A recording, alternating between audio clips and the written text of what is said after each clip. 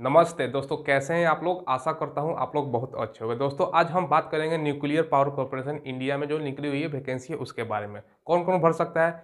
As, salary, selection, सारा कुछ बात करेंगे दोस्तों, ठीक है? सैलरी कितना मिलेगी वो भी बात करेंगे। आपका योग्यता क्या होना चाहिए वो भी बात करेंगे। चलिए वीडियो को शुरू करते हैं। देखिए दोस्तों, सबसे पहले अगर हम बात करें टोटल नंबर ऑफ़ पोस्ट की तो सेवेंटी टू है। तो अच्छा खासा पोस्ट है दोस्तों, आपको कम लग रहा होगा। देखिए, इसमें बहुत कम छात्र अप्लाई करते हैं तो आपको भी अप्लाई कर देना है, क्योंकि दोस्तों यहाँ पर देखिए फ़ी एक रुपये भी नहीं लग रही है यानी फ़ी की बात करते ज़ीरो रुपये तो अप्लाई ज़रूर कीजिएगा। देखिए अगर फॉर्म अप्लाई करने की बात करें डेट का, दोस्तों तो तीन दिसंबर से अप्लाई करने का स्टार्ट हो चुका है, सत्ताईस दिसंबर शाम चार बजे तक आखिरी डेट है इसका, ठीक है? शुरू में अप्लाई कर दीजिएगा, बाद में सर्वर स्लो हो जाता है अप्लाई करने में दिक्कत होगा, ठीक है?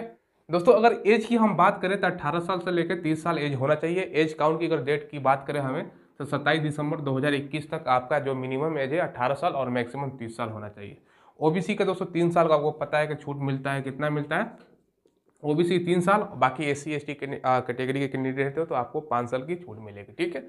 देखिए दोस्तों, अगर पोस्ट की नेम की बात करें तो यहाँ पे S T M T category two का है, ट्रेड की अगर बात करें तो ऑपरेटर का है, फिटर का है, इलेक्ट्रीशियन का है। इसके अलावा बहुत सारा पोस्ट है दोस्तों, ऑफिशियल नोटिफिकेशन डाउनलोड करके आप देख सकते हैं। जो मेन मेन पोस्ट है, मैंने यहाँ पे लिख दिया है क्योंकि इसी पोस्ट में सबसे ज़्यादा कैंडिडेट है, इसी पोस्ट पर अप्लाई करेंगे, ठीक है?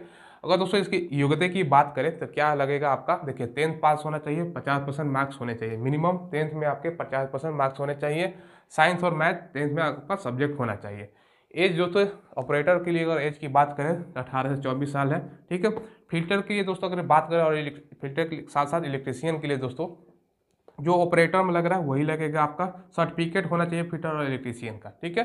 तो फिटर और इलेक्ट्रीशियन का आपका आईटीआई का सर्टिफिकेट होना चाहिए। यहाँ पर देखिए हर पोस्ट के लिए दोस्तों अलग अलग सिलेबस है। तो ये पोस्ट जो लिखा हुआ है, इसके लिए अगर हम सिलेबस की बात करें तो सिलेबस क्या है दोस्तों? सबसे पहले इंग्लिश पूछा जाएगा बीस नंबर का, इसके अलावा जनरल अवेयरनेस आपका बीस क्वेश्चन रहेगा, ठीक है? मैथ से दोस्तों बीस क्वेश्चन रहेगा। टोटल मिला के ये साठ क्वेश्चन हो गए पार्ट ए ठीक है? पार्ट ए में साठ क्वेश्चन रहेगा।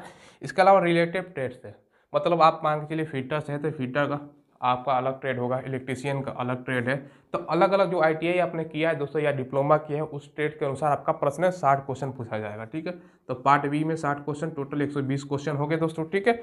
दो घंटे का एग्ज़ाम होगा। देखिए अभी दोस्तों ये स्पष्ट नहीं किया गया है जो परीक्षा होगा ऑनलाइन होगा या ओ सीट मतलब ऑफलाइन होगा, ठीक है?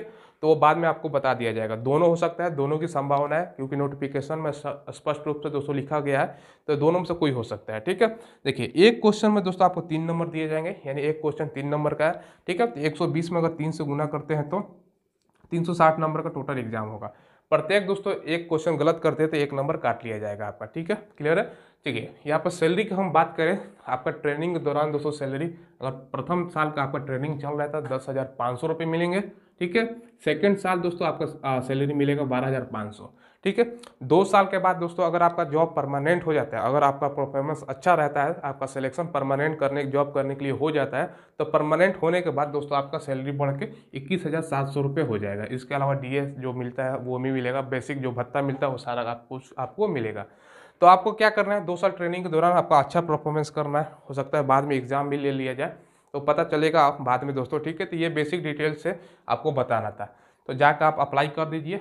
N P C I L यानी nuclear power corporation of India की ये वैकेंसी है। तो दोस्तों अच्छा खासा मतलब वैकेंसी है दोस्तों, आप लगेगा। मतलब आपका ड्रीम जॉब की तरह है तो आप ज़रूर ज़रूर अप्लाई कीजिएगा। यही आपको बस इन्फॉर्मेशन देना था दोस्तों। कोई सवाल हो तो कमेंट के माध्यम से पूछ लीजिएगा, ठीक है? देखिए, हम सरकारी जॉब जो भी आता है, ये ये हो गया, इसके अलावा रेलवे की जॉब है एसएससी की जॉब है, या दोस्तों अभी एस एस का एग्ज़ाम चल रहा है तो सारा दिन का एनालिसिस हमारे चैनल के माध्यम से मिल रहा है, इसलिए चैनल को ज़रूर सब्सक्राइब कीजिएगा दोस्तों, ठीक है? और दोस्तों कमेंट में कोई सवाल पूछना हो तो कमेंट के माध्यम से पूछ लीजिएगा। धन्यवाद।